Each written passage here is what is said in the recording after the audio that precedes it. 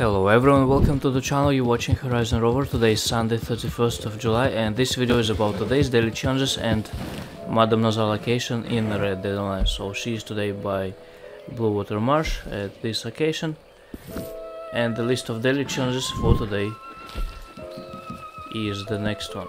In general challenges we got one land of opportunities missions completed, for that you can press options, go to progress, then to story missions and in story missions you will see a land of opportunities so replay any of that missions. Three cooked seasoned plump bird. Uh, plump bird meat you can get from chickens or from turkeys for example and some seasoning you will need as well like creeping thyme wild mint or oregano. Then cook uh, that meat on the campfire.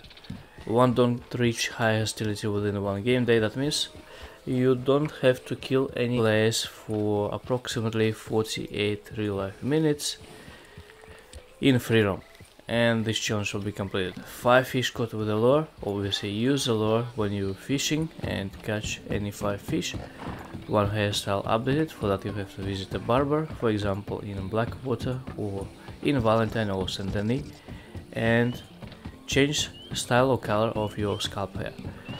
3 play kills in Dead Eye in free roam events, for that join PvP free roam events like Dispatch Rider, Master Archer, King of a Castle, Cold Dead Hands, Fool's Gold, Kills Challenges, Railroad Baron, and while in Dead Eye, shoot and kill 3 players, so aim at them, press R3, and while in that mode, shoot three of them. Next one, five violet snowdrop picked. I'll show you the locations at the end of the list of challenges.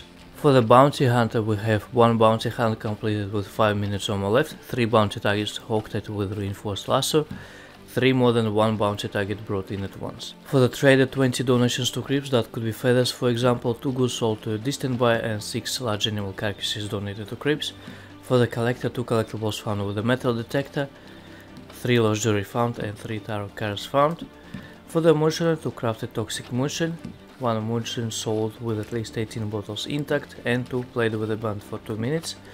For the natures, 5 animal samples sold to Harriet, 7 crafted or cooked at wilderness camp, I would recommend you just to craft some ammo, and 3 wetland animal samples taken there, alligators, snakes, panthers and turtles. You'll find plenty of them around the Blue Water Marsh where Madam Nazar is today. So I hope you found this video helpful, thanks for watching, have a nice day and see you next time.